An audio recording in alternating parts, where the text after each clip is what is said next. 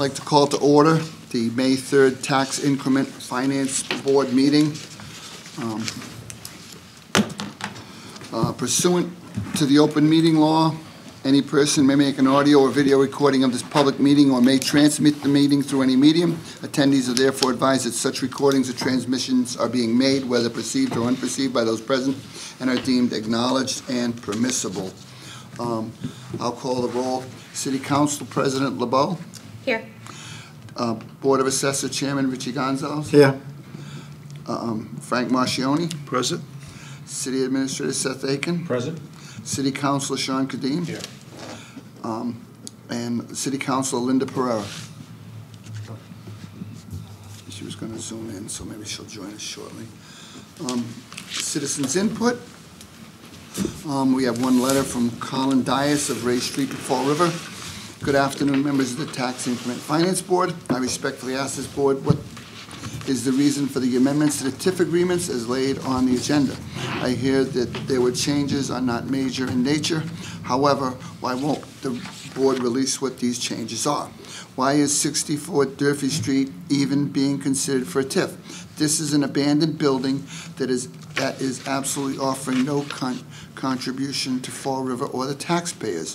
What are we gonna do with 64 Durfee Street? Turn it into market rate housing?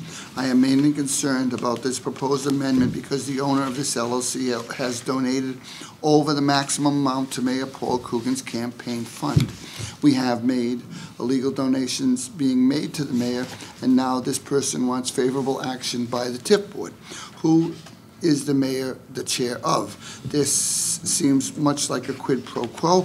I ask the board to simply disclose to the public what kind of amendment is being made and what impact it will have on the taxpayers. Fall River deserves better. Thank you, Colin Dias. That's the only letter we have tonight in citizens' input. I'll now ask for a motion to approve the minutes of Tuesday, April 5. Um, Can I get a motion a second? Second. I have a motion and a second. Um, All in favor? Aye. Opposed? None. I'll now turn it over to um, Attorney Matt Thomas to describe item six on your agenda, the proposed amendment of a tax increment exemption agreement by and between Mechanics Mill One LLC and the City of Fall River dated May 7th, 2015. Mr. Thomas. Thank you, uh, Mr. Mayor. Uh, Good afternoon, everybody. Um, I'm actually filling in for uh, NB, uh, for Bristol County Economic Development, which would normally be doing this. But um, we're here before you on two um, amendments, and um, the first one is for Mechanics Mill. Um, The amendment for Mechanics Mill, and- and I should note that these are primarily technical amendments, just to clean up the TIF, the ties um, as we go forward. So, um, there was a tie agreement executed with Mechanics Mill on May 7th of 2015, and under that tie agreement, they anticipated developing the top three floors of Commonwealth Landing into residential housing, market rate residential housing. The bottom two floors uh, were intended to be commercial. Um, Subsequent to uh, the tie being executed, in May of 2016, they took the building condominium. And so the top three floors became condominium unit two, the bottom two floors were condominium unit one. When they did this, they didn't, through inadvertence, um, because these were among the earliest of the ties, and I don't think people really were up to speed on how these things are supposed to be managed. They didn't come to the city first to seek permission to do that, as they should have. They then conveyed the second floor to Mechanics Mill Two, which is owned by the same people, but they did, Mechanics Mill Two owns the, t- Unit Two, which is the top three floors. Mechanics Mill One owns, owns the bottom uh, two floors, which is Unit One. When they went condominium, and this is similar to what happened down at South Coast Marketplace, it changes the nature of the tie in that the project is now only defined by the top three floors, not by the whole project, or not, not the whole property. So what the tie amendment in front of you does, and I'll just walk through it, starting on the second page. The first thing is that the city grants permission to Mechanics Mill One to convert the property to a condominium unit, a condominium, and to convey Unit 2 to Mechanics Mill 2. Nunc pro tunc is a Latin phrase which basically means now for then. So by doing it nunc pro tunc, you're doing it now, it takes effect as if you had done it originally back in 2016. Um, Number two, uh, the- we assent to the assignment of the tie from Mechanics Mill 1 to Mechanics Mill 2. That's required under the terms of the tie as well, and that's also done nunc pro tunc. Then in number three, what we do is we um, add the words "a portion of" in front of property because it was talking about the property. The property is defined in the tie to be the entire property, commercial and residential. We're making it clear that this is only on a portion of it. We define, uh, we add a new um, definition after MRRU in the tie and before property, adding in the definition of project, which is that condominium unit two. We also changed the name of the sponsor from Mechanics Mill 1 to Mechanics Mill 2. Uh, In number six, we strike out the set, the language that's there which talked about rehabilitation of the property and make it rehabil- rehabilitation of the project. Um, In number seven, we replace the word property with project. As you can see, this is basically technical. In eight, we change the word property to project. Number nine is a little bit more of a substantial change. When the tie was originally negotiated and executed, it inadvertently listed the base value as 3.6 million. That was the entire property value. The base value for a tie is only the residential portion. And in fact, as we've been managing this tie over the years, we've actually been using this base value of 1,106,910. So this cleans that up in the language. Number 10 takes the assignment language, which is in the tie right now, which basically consists of the first one, two, three, four, five, six lines, which basically says that if they're gonna assign it to somebody, the city has to approve first. We add the remaining language, which is very similar to most financing agreements, which basically says that if their lender forecloses on the property, the lender can sell it to somebody, and that assignment automatically happens if the lender's foreclosing their rights. Um, Number 11, uh, what we do in number 11 is we change the name of the um, sponsor to Mechanics Mill 2. Number 12, we add this Exhibit A on the back, which is the confirmation of um, valuation sheet, and this has been updated as well to include Mechanics Mill 2. And in number 13, um, we add some language in the Exhibit 2, which is the definition of the property, and make it clear that this is only applying to Unit 2 of the condominium.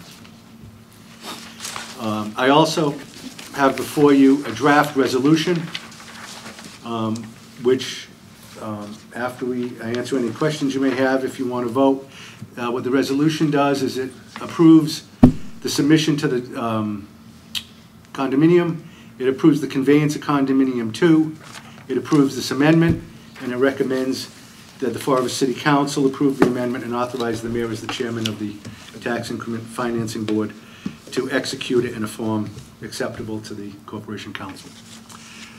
Um, I apologize for so many changes, but we were trying to clean this up once and for all. Assuming you vote to approve it, it would go to the city council. Assuming the council votes to approve it, it would then go to DHCD for their approval. It becomes effective upon DHCD approval. I can answer any questions you may have. Anybody have any questions about this tie from Mechanics Mill? Just, just that. Mr. Cadime? Just in terms of, so, and I apologize if you said this, seven and eight, so property versus project, what's the significance of the word change? So the property is defined as being the entire property at 1082. Yeah. It includes the second, the condominium unit two, condominium unit one, all the property. What we've done is the tie can't apply to commercial property. It can only apply to the residential. So we changed that to project, and we define project as being condominium unit two, which is the residential units. Okay. Thus the 1.1 million. That's the 1.1 million. And then, so what's the, um, as it currently stands, so if this wasn't approved, is there, or I should say, if if this moves forward and is approved, either way you want to look at it, Right. what's the tax implication? Is there a tax implication moving forward? No, Outside because- of the, the no, tie, in no, terms because- of how it's assessed or anything of that nature? No, because what we've been doing is, I real, I found this problem about three years ago. And when I found it three years ago, we met with um, the sponsors, with Mechanics Mill One and Two, explained to them the problem, and we changed the base value to the one point one million back then. We just haven't got, we hadn't had an opportunity to change the paperwork. So this is gonna continue the assessment as it's been done for the past three years. But it doesn't in- impact the assessment going forward in Doesn't terms at all. of total valuations once the tie is, is completed, anything Not at like all. that? Um, It still runs through, I think we're in year five now, which is the last eighty percent year. Starting in, eight- in year six, it goes down to twenty percent for the remaining five years.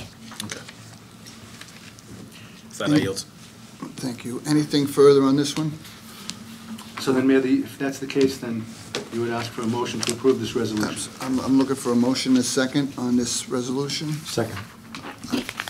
I needed a motion first. You're, you're the motion. Could I get a second? A second. I got a motion to second. Any further discussion? I'll call the roll. City Council President, Yes. um, Richard Gonzalez. Yes. Frank Marchioni. Uh, Yes, Mr. Mayor, I'd like to, uh, always uh, need to make a disclosure that I am the president of Bristol County Economic Development Consultants. I had no input uh, in the preparation of this document. I vote yes. City Administrator Seth Aitken. Yes. City Councilor Shawn Cadime. Yes. Linda Pereira.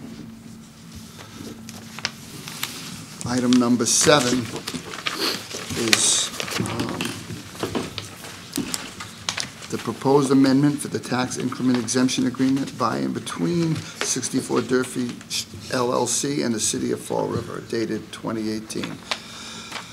Attorney Thomas. Thank you, Mr. Mayor. Um, This is a much simpler amendment. So 64 Durfee is actually complete. I Uh, Temporary certificate of occupancy was issued in December uh, for most of the units, not including the lofts. So what um, this does is, again, this cleans up the tie to bring it into conformance with what was actually done. So for example, in number one, again, we change, we insert the word "a portion of the property." And that's because at 64 Durfee, you have 44 units of market rate residential. You have 11 units of studio, which are affordable. Um, And then you have 9,000 square feet of commercial space. So that 9,000 square feet of commercial space and the 11 units of affordable are not included in this tie, only the 44 units of the market rate. So we have to add that phrase in, again, portion of the property, uh, for what it applies to. And number two, uh, we make it clear that we add that definition of project again. And so the project is only the market rate units, those 44 units of market rate. Um, Just so you know, the market rate, well, we'll get to that in a sec. Um, The next thing I do in number three is we clean it up again to substitute project for property. Number four makes it clear that there are 55 residential units being built there. 44 of them are market rate, and of the 44, there's one three-bedroom, 29 two-bedrooms, 14 one-bedroom. And uh, then the remainder, which is not listed here because it's not part of the tie, are the 11 units of studios and the 9,000 square feet. Number five, we again, it's similar to the, um, the Mechanics Mill tie, we substitute project for property. Number six, we do the same thing. Number seven, it- the tie had originally listed 100% MRRU, so it said that 100% of the units were market rate. They're not. 11 are affordable of the total development, which means that it's only 80%. And so what will happen here is the increment that they get is going to be the difference of value between the base value and the investment in all of the residentials. And that difference, that difference will then be multiplied times eighty percent before the eighty percent exemption is applied to it. Because the exemption only applies to the market rate units. Uh, number eight, um, what happened with this one is through inadvertence. This year, the assessor's office got confused by the fact that a temporary certificate of occupancy had been issued. And so they applied the eighty percent exemption, which they couldn't do, because you can't apply the exemption until DHCD has issued final certification, which happens after the final certificate of occupancy. So they had applied one year of the tie already. So what we're doing is we're amending this to make it clear that the tie exemptions begin next year. Um, It turned out as a wash in the assessment side of this because of some inaccuracies on the calculations as well. And so an agreement was reached between uh, the city and the sponsor that there would be no abatements granted, there'd be nothing additional owed, everybody's moving on into the next year. Number nine is the same assignment language as there is in Mechanics Mill. Number 10 adds the same Exhibit A. Um, just, it it refers to Durfee. And number 11 cleans up the language in Exhibit uh, 2 to the tie, explaining that the property is really only those residential units, the project, not the rest of the property. Sorry, Attorney Thomas, why is there no base right now? Oh, there is, um, I didn't change the base. Um, on the new one here, Oh. that the base value hasn't been changed, it's still hundred and fifty-one thousand dollars. That was the, the, that was the assessed value of that property two years ago, hundred and fifty-one thousand dollars. Um, hundred fifty-one thousand, yeah, that's what the assessed value is, and that's what it stayed at.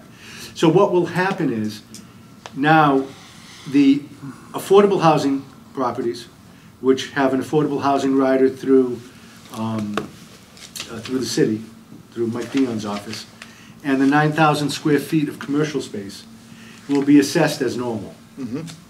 Uh, The market rate units would get an eighty percent exemption starting next year, as this goes forward. And my understanding is they've started um, renting it. Um, My understanding is that the final certificate of occupancy is supposed to issue in the next couple of weeks, and they anticipate um, going to DHCD for final certification uh, before June 30th. As the councilors will remember, last year, um, we adopted, uh, we basically became a Concord community, so June 30th is the evaluation date. So as long as that's done before June 30th, then the tie would begin this coming July 1st. Again, mostly technical amendments to clean this up. We're trying to go through this with all the tips and ties to make sure that they're all in conformance where they should be. So I can answer any questions you may have, Mr. Mayor. Anybody have any questions? Council President? I just have one on item four, where Yep. you're striking three B. It's a difference in unit, three B, when the original is forty-two, and I apologize if you said it, forty-two residential rentals, and you're changing it to fifty-five? Yeah, so what we do there is, the original tie said 42 residential units. What we're doing is we're saying it's 55, of which 44 are now MMRU, MRU, MR, uh, market rate residential units. Of that 44, one is a three-bedroom, 29 are two-bedrooms, and 14 are now one-bedrooms. So in their original plan, when this was built, was it built for forty-two or They had originally planned for 42, and when they did the work, they were able to restructure it so that they were able to get 44 market rate units out of it. They added a one-bedroom and they added a three-bedroom. Okay, but the total, Well, that's what's gonna be changed, that total's wrong. correct, okay. So that's what we were cleaning up. There were originally 55 residential units being planned, originally. That's what I was looking for. And that was the issue. And they didn't know what the, what the mix was gonna be. And that happens a lot with these things, as you get in there and they're converting these buildings, you, you're able to pick up a couple. The benefit here is they added market rate units, not affordable units. So, it's, a- in the long range, it's better for the city. Thank you, I yield. No problem. So I'm sorry, um, so the current amount is fifty-five or forty-seven? So there's 55 total Current, units. okay. 11 are affordable, 44 are market rate, and that's the breakout of the 44. Okay. And then just in terms of number eight, when you mentioned, um, I believe it was number eight, that the tie was applied a year earlier, Right. what was, I guess, what was the value of that? Well, so And what then- happened was this. When they applied the tie, they actually set a value of the property right around $5 million. and then applied the tie of eighty percent, and that brought it down. They used the wrong assessment date and applied the wrong amount to it. When you went back and looked at what it really should have been, it was off by about a thousand dollars. They paid that tax on that, and then they applied for an abatement. They wanted it to go lower. Mm-hmm. We told them they're not getting the abatement, we're not gonna go after them for the extra thousand dollars. Let's just call it a day and move on. So the, the total amount we were talking about, just, It was a wash, it was, so it was a thousand dollars, just so about everybody? a thousand. It wasn't massive. Okay. Because they had used the wrong assessment date. Yep. As I understand it from the assessors. And there again, we've talked to the building department about this. Developers would love to see temporary certificates of occupancy. It's great. They want to get people in the building. Mm-hmm. The trouble with that is when you're dealing with a TIF and a tie, those are trigger dates when they issue those certificates of occupancy. Right. So there has to be closer coordination between the two offices when that happens to make sure that somebody's not taking an inadvertent action based off of a temporary. Um, So we're gonna try to be developer, you know, reasonable to the developers, but we wanna make sure that the city collects what it's supposed to collect. Richie, and do you uh, Anybody else agree have with all anything? that? If I, if I can ask you, since, Yeah, n- uh, no, no, no, we, we sat in on some of the meetings, and uh, basically, that's, that's what was drawn out. Mm-hmm. And, and the whole key goes back to the occupancy permit. Right. The temporary, once they see it, they think it's live, and they go ahead and assess it, not realizing it's a temp. Uh, Mr. Metro, just so you know on this, Sure. when we deal with an abatement on something like this, that's a really big issue, we always bring the abatement to the assessors, the Board of Assessors, discuss it with them in executive session, and only act after they give us the okay. So that they, they're, they're the board, we want to make sure there's full of course, transparency. yeah, that's why, I'm you, the the head honcho here. Yeah. Thanks. No. Thanks, Frank. Anything further? Motion to adopt? Second, I have a motion and a second. I'll call the roll.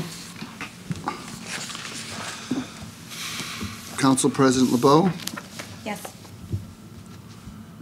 Chairman of the Board Richie Gonzalez. Yes. Frank Marchioni. Uh, Yes, and once again, I am the president of the Bristol County Economic Development Consultants, and as you can see, I had no input or analysis in uh, the drafting of this. City Administrator Seth Aitken. Yes. City Councilor Shawn Cadime. Yes. Councilor Linda Pereira. And I voted yes. Thank you all. I'll Entertain, any new business to come before the board? Any old business? I'll entertain a motion to adjourn. So moved. Second. Second? Motion second, all in favor? Aye. Thank you. Thank you, thank you, attorney. Thank you all.